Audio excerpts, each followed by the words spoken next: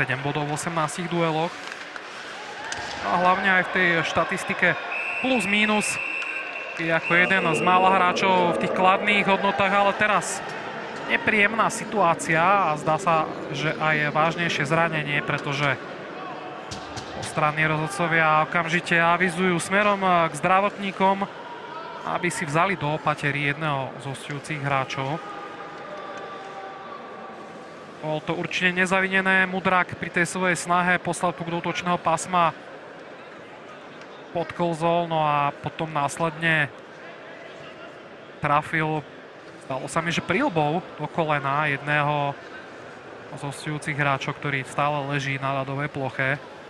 Už sú tam pri ňom aj lekári. Sa teraz budú snažiť odhadnúť, do akej miery je rizikové hýbať s tým kolenom.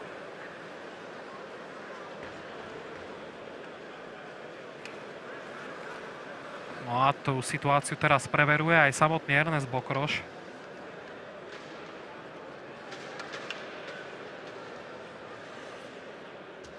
Tak toto vôbec nevyzerá dobre.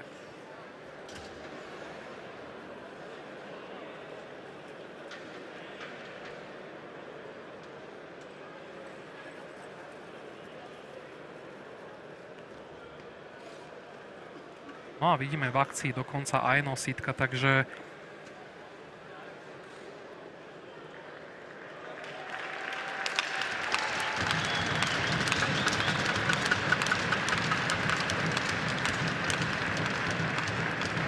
Vyzerá to tak, že tým zraneným hráčom bude Sorokin, ruský obránca, ktorý pôvodne prišiel pred zhruba mesiacom do Liptovského Mikuláša na skúšku.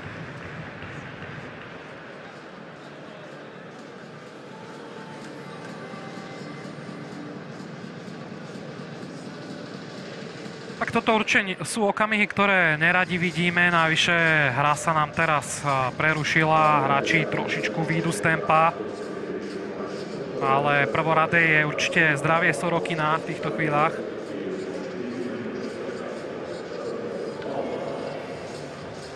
Pozrieme sa ešte raz z opakovaných záberov, ako k tomu v skutočnosti prišlo. Takže Mudrák v snahe poslať puk do pásma. Bol možno aj podrazený Andreasom Štrauchom, no a pri tom uh, páde v tej rýchlosti naozaj trafil Sorokina.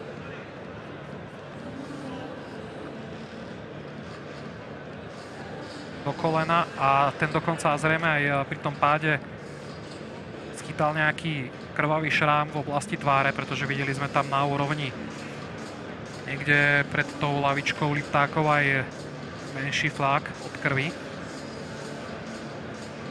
tak eh, škrt cez rozpočet pre trénera Bokoroša, ktorý teraz bude musieť, zdá sa, využívať viac aj 7. brancu Pávulka.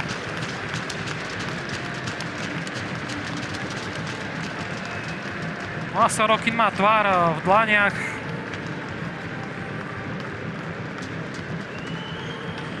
Za potlesku momentálne teda